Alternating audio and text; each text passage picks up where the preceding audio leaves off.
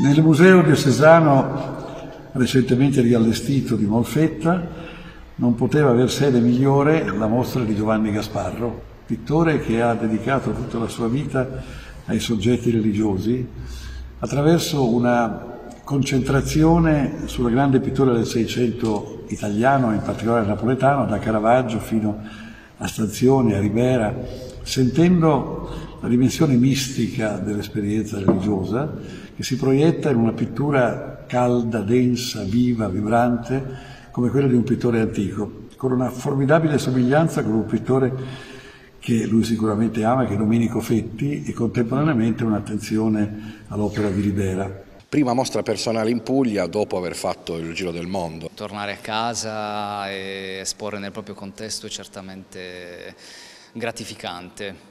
Il nuovo Teatro del Divino è un tema assolutamente attuale rispetto a un'epoca di grande confusione anche sotto il profilo della spiritualità. È una velata allusione al contesto odierno, ma è anche un modo per eh, ricalcare un po' la mia recentissima esperienza di scenografo teatrale al Teatro Coccia di Novara dove lo scorso anno ho realizzato le scenografie per la Tosca di Puccini, quindi abbiamo condensato queste due anime pittorica e da scenografo. Ma poi quando si entra non si ha l'impressione di entrare in un teatro?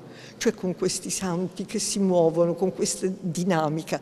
Non sono le solite immagini di, come si dice, con i santi in posa che ti guardano, no? È proprio un teatro. Ecco perché ha voluto proprio lui il termine teatro. Anche un confronto particolarmente impegnativo con eh, il passato, con illustri esponenti della pittura del passato. Sì, lusinghiero direi, perché in, in, mostra ci sono due opere a confronto con i miei dipinti, ovvero eh, il San Nicola Pellegrino di Corrado Giaquinto a confronto con una grande pala, grande pala d'altare che ho realizzato per la chiesa di San Francesco d'Assisi a Trani, e la Pietà di Bernardo Cavallino che è già nelle collezioni del Museo Diocesano di Molfetta a confronto con eh, la mia corredenzione. Tutto questo però in un racconto, in una capacità di rappresentare i soggetti religiosi attraverso delle acrobazie, dei montaggi particolari, delle capacità di moltiplicare le mani. E tutto questo per creare un effetto iperbarocco che rende la sua opera una riflessione sulla grande pittura antica ma del tutto attuale perché c'è una veridicità, un racconto che diventa quasi una volontà di ritrovare il tempo perduto, ma con la capacità di rendere intriganti, misteriose, surreali le sue invenzioni, attraverso un allargamento dell'iconografia a elementi che sono estranei, esterni, che sono onirici.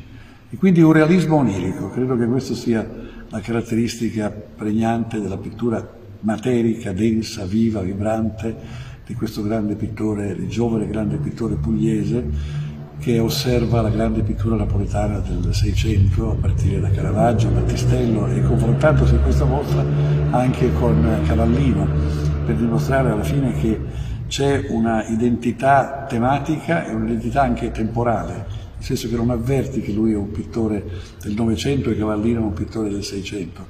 Sono entrambi, anzi lui è un pittore del 2000, del nuovo millennio, ma sono di uno stesso tempo interiore che è il tempo di un'esperienza mistica, religiosa, spirituale e di convinzione profonda di valori che sono i valori cristiani. Sgarbi l'ha definita il nuovo Caravaggio, eh, sente questo peso nella sua produzione? Direi che è un, diciamo, un confronto fin troppo lusinghiero, ma mh, mi guardo bene da cercare un, un, confronto con un autore così importante. Certamente è fra i pittori che ho guardato di più e mh, insieme anche alla sua scuola, ai suoi epigoni, questo, questo, certamente Sgarbi in quello ha colto perfettamente. Nella sua pittura c'è una rifondazione di valori cristiani che sono stati cancellati nella pittura del Novecento e con lui nel nuovo millennio ricominciano a prendere vita. Nessun pittore aveva osato dipingere pale d'altare, soggetti religiosi con una eh, così forte e, e immediata sfida a tempi che sembrano non accettare la iconografia cristiana.